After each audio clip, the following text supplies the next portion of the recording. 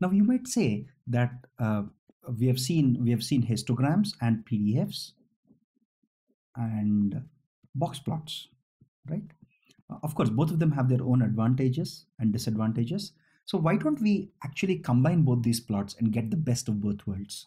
Such a plot is called a violin plot. While the name is, is very melodramatic, it's a very simple idea and it's a very useful one. I really like these plots because it gives us the best of both worlds very simply.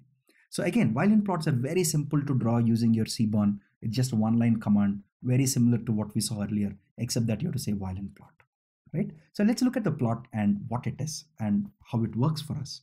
Again, as usual, we have our setosa here, we have our versicolor here and virginica here. Uh, uh, a violin plot looks like this, this looks like a violin, right? Like somebody playing a violin, right? So it has it, it has both the components. So let's let's see let's see how it works.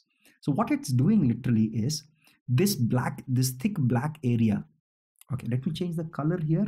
This thick black area that you're seeing is your box plots box, right? This is your box plots box, right? With the white color in center being your 50th percentile, the top corner being your 75th percentile, the bottom one your 25th percentile, and these are your whiskers, right? So it actually internally um, already has box plots. So here, this is your 50th percentile, 75th percentile, 25th percentile, your lower whisker and upper whisker.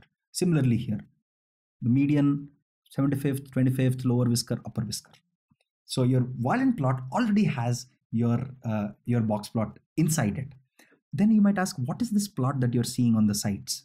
Again, this is symmetric to this, right? So if, if you just turn around and look at it like this, look at it like this, this is nothing but this this looks exactly like your bell curve right?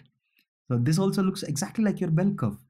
So what violin plot does is violin plot plots the probability distribution functions or probability density functions sorry or your histogram on the side right?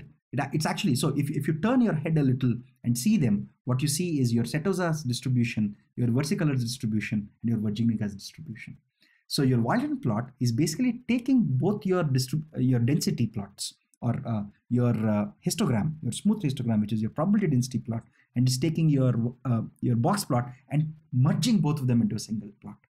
And of course, this is this is again useful because it gives you the best of both worlds. You know what the distribution looks like because from this diagram, I know that the distribution looks like a Gaussian Gaussian distribution. Again, those of you who don't know what a Gaussian distribution is, please don't worry.